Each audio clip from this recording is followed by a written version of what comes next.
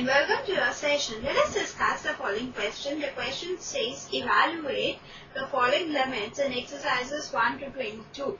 Limit of x to the power 10 plus x to the power 5 plus 1 by x minus 1 as x tends to minus 1.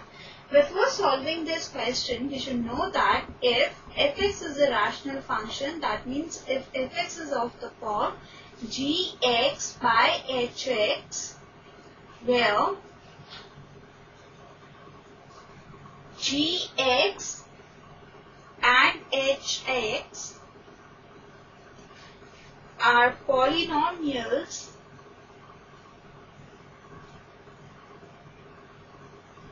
Such that gx is not equal to 0 then limit of fx as x tends to a is equal to limit of gx by hx as x tends to a.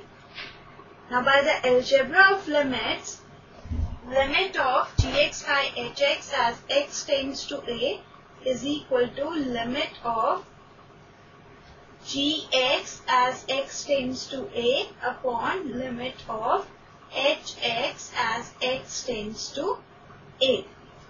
Now gx and hx are polynomial functions.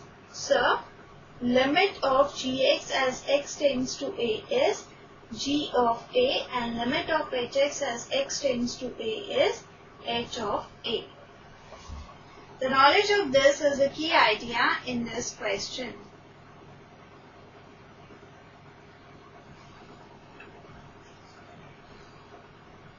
Let's now begin with the solution. In this question, we have to evaluate limit of x to the power 10 plus x to the power 5 plus 1 upon x minus 1 as x tends to minus 1.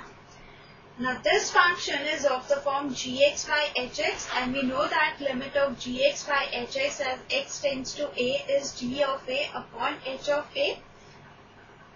So this means limit of this function is the value of this function at the point x equals to minus 1.